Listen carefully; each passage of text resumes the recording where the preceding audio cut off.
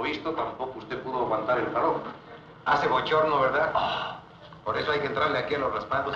Y yo que llevo el aparejo desde las 8 de la mañana. ¿Y por qué tan temprano? Pues he tenido mucho que hacer. Ah, ya comprendo, ya compromisos sociales que le obligan a atender ciertas invitaciones por amistades con terceros. Eso, mero. Con lo latosos que son estos matrimonios. Latosos y costosos. Porque usted se imagina lo que cuesta este relajito. Dígamelo usted a mí. Yo le aseguro que esta boda no baja de los 200 mil pesos por lo menos. ¡Qué brutos! Oiga, ¿usted quién será el Paganini? Pues la costumbre es de que pague el padre de la novia. ¿El padre de la novia? Si le digo a usted de que los hay, los hay. Ciertamente. De que los hay, los hay. ¿No has hecho usted un raspadito? Hombre, muchísimas gracias. Yo compro. Ya ven, ya, ya saben. Vamos. Véngase. No le dije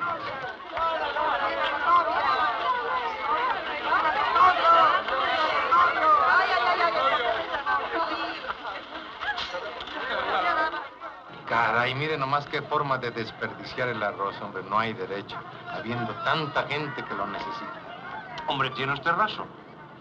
Oiga, usted y la novia, pues, está bien, se trae lo suyo. Favor que usted le hace. No, pues favor que ella ya trae. Ahora que el novio tiene una cara de sonso, fíjese nomás. Ah, bueno, vámonos para la casa. ¿Cuál casa? Pues si yo no... ¿Para la fiesta, hombre? ¿A poco me va usted a fallar? No, pero... No, déjese de compromisos. Vámonos, vámonos.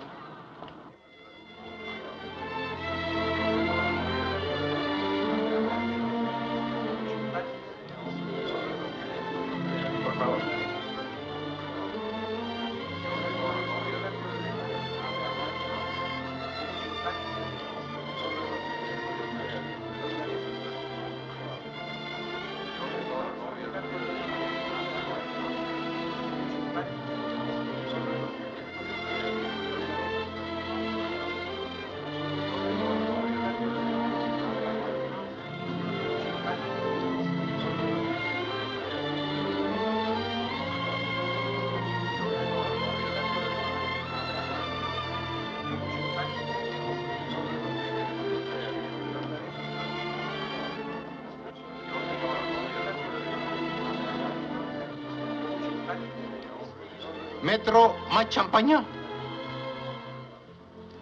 Y ponga a enfriar más, que estoy agarrando fuerza. Muévase, joven, para eso le pagan. ¿Cómo lo tratan, mi amigo? Oiga, usted ya no se puede pedir más. Además, no pida nomás agarre, joven. Me da mucho gusto que esté usted contento. Hay una barbacoa en alambre que por nada me sacan un ojo. Pero sancochadita que, bueno, se chupa usted el alambre.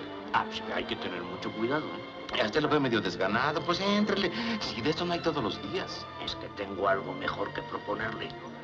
¿Qué cosa? Nos vamos a tomar usted y yo mano a mano unas cuantas botellitas de champaña que son algo verdaderamente excepcional. Ay, ¿cómo le hice para conseguirlas? Porque yo también ando viendo, pero el metro ese nomás me está clachando y ya tuve que dejar hasta los cubiertos que... No, no se preocupe, usted sígame disimuladamente. Es conveniente que no se entere mi mujer. ¿Qué trajo usted a su vieja? No la muele, hombre, habiendo aquí tanto canapé. Sígame.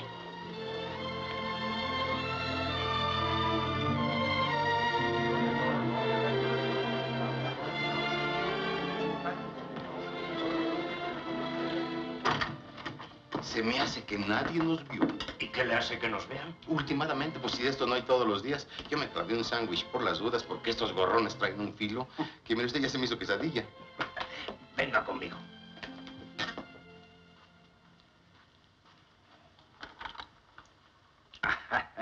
Acérquese.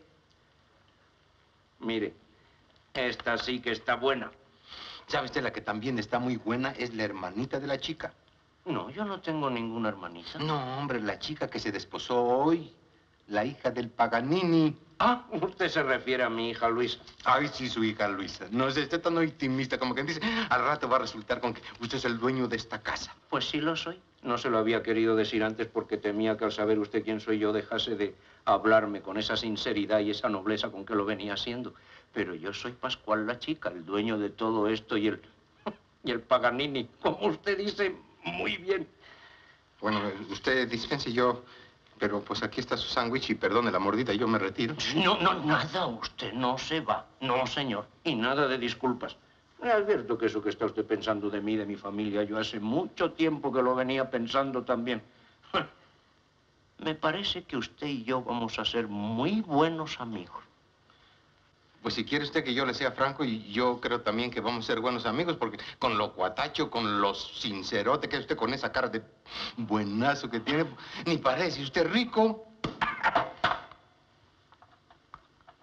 Por el gusto de haberlo conocido. No, y ahora que me conozca mejor, le va a dar mucho más gusto. Salud. ¿Un cruzadito? Ándele. ¿Dónde vine a caer, Diosito?